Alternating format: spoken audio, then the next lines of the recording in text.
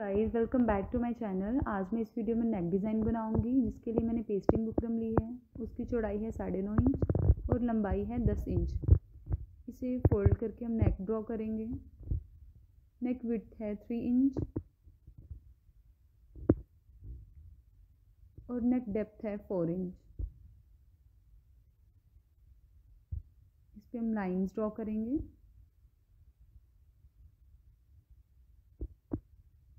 और 3.5 inch extra slit mark करेंगे। ये स्लिट हम हाफ़ इंच चौड़ी रखेंगे और डबल पे हम टू पॉइंट मार्क करेंगे। नेक को राउंड शेप देंगे और स्केल की हेल्प से स्लिट ड्रॉ करेंगे। फिर हम इसे कट करेंगे।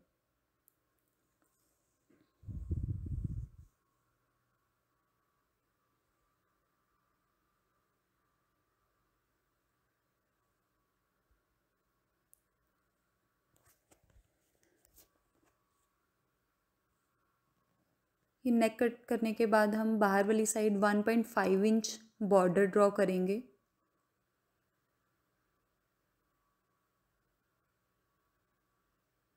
और इसे बाहर वाली साइड से कट करेंगे।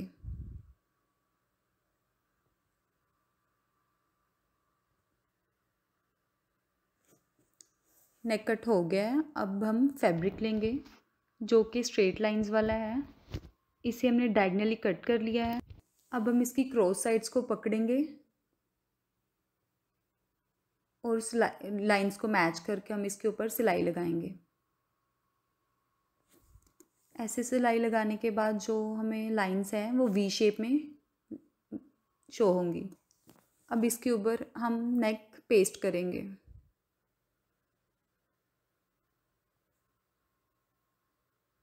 बिल्कुल मिडल में रखकर, सिलाई के मिडल में रखकर। हमने नेक पेस्ट कर लिया है। अब इसके कॉर्नर्स पे कट लगाएँगे।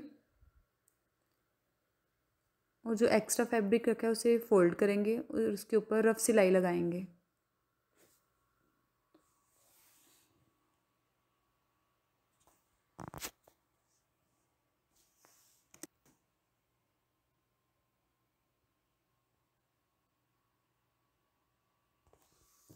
अब इसे फोल्ड करेंगे मिडल से प्रेस करेंगे।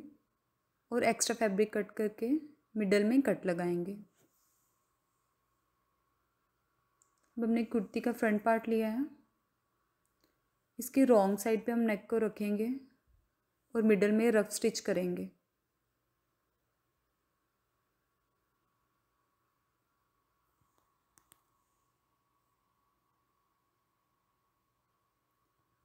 मिडल स्टिच के बाद हम हम नेक की शेप के अकॉर्डिंग बिल्कुल साथ साथ सिलाई लगाएँगे।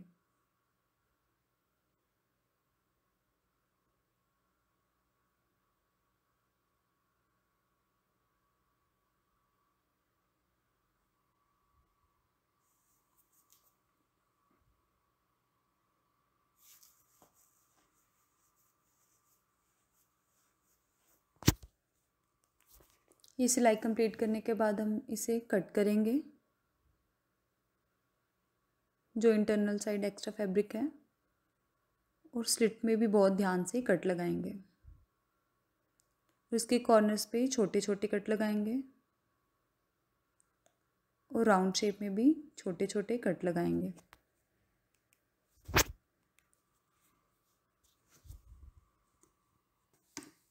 अब हम इसे कुर्ती के सीधी तरफ़ पलट देंगे। और सुई की हेल्प से नेक की कॉर्नर्स को अच्छे से बाहर निकालेंगे। और किनारे के साथ साथ सिलाई लगाएँगे। ये सिलाई हम बहुत ही ध्यान से लगाएँगे ताकि जो कुर्ती का फैब्रिक है वो ऊपर वाली साइड ना आए।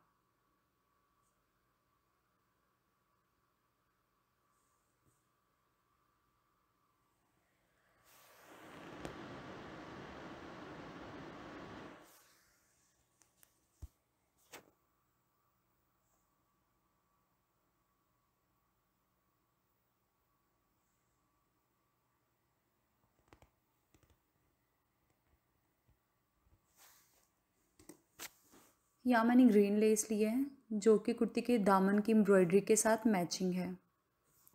इस लेस को नेक की बाहर वाली साइड अटैच करूँगी। लेस को हाफ़ बाहर शो करते हुए।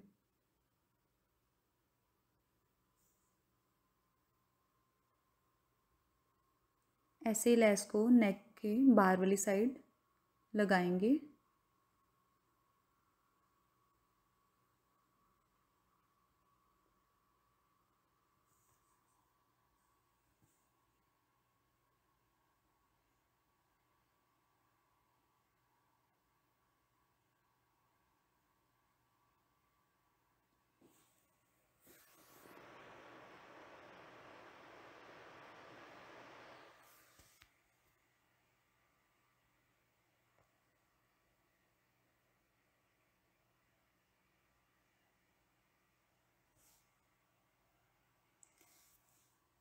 ये लेस लग गई है।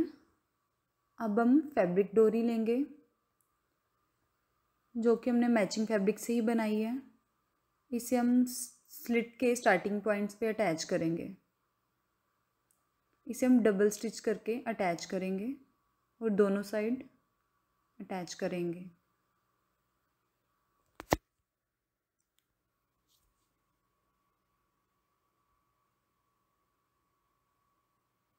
ये फैब्रिक डोरी को स्लिट स्लिट के स्टार्टिंग पॉइंट पे अटैच करने के बाद हम इसे, इसके स्टार्टिंग पॉइंट्स पे फैब्रिक लटकन्स लगाएँगे। जिसके लिए हमने ये स्क्वेयर पीसेस लिए हैं थ्री बाई थ्री इंच के। इसे डायगनली डबल करेंगे और मिडल में फैब्रिक डोरी रखेंगे और फिर से डबल करेंगे और ऊपर डबल सिलाई लगाएँगे।